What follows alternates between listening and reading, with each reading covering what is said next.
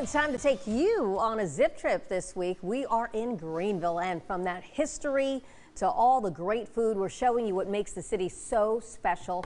Let's get back to Fred Cunningham, who's joining us now live from Fluor Field in downtown Greenville. Fred? Good morning, Sabila. It's a Friday. We're on a zip trip to Greenville. We are at Fluor Field, the home of the Greenville Drive, and Michelle Nance is here. She's with Visit Greenville. We've talked a lot about sports, well, baseball and that kind of thing, but we want to talk about something that we always want people to be responsible, but it's a Friday night, getting into the weekend, and Greenville has so many great restaurants, but especially great breweries. Certainly. Uh, Greenville really is a, a, growing destination on the craft beer scene. We have over 20 breweries and are growing. Um, actually, we're in the top 10 per capita in the U.S. for breweries. And um, so there's really something for everyone, even for the non-beer drinkers. And um, you know, it's a great opportunity to get out and explore on your own or take one of many brewery tours. Yeah, there, and it, this stretches from you know, Main Street all the way up by the Hyatt, all the way to where we are here in the West End. Certainly. So yeah. that's awesome.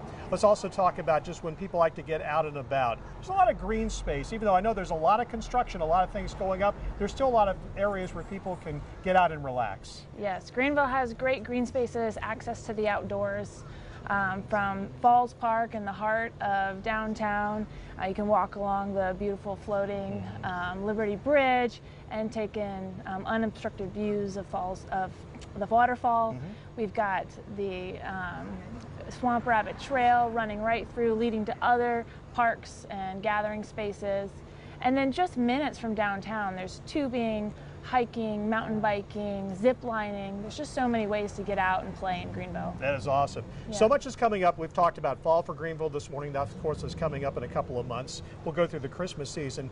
But if you're a sports fan, if you love basketball, and if you love fishing, 2022 is going to be great, especially the month of March. Yes in March, at the beginning of March, we're going to be welcoming um, Bassmasters Classic um, here to Greenville and Anderson, and so there'll be a lot of fun for, for fans of, of that sport, as well as basketball, the NCAA men's first and second round at the end of March. Um, so it's going to be a great time to, to get out and see some really great sporting events. Absolutely. They do the fishing in Lake Hartwell, but they, when they do the weigh-ins mm -hmm. here, and it draws a great crowd. And again, basketball, uh, March Madness here next March. It'll also be back in 2026. And in between, the women's NCAA tournament is here in 2023. Yes. Exciting times. Very exciting. Yeah. Great. Michelle Nance with Visit Greenville. Thanks for being here with us today. Thank you so much for having me. Can we keep any of these? Sure. TV is a great job. Let's send it back Don't twist her arm. Don't twist her arm, Fred.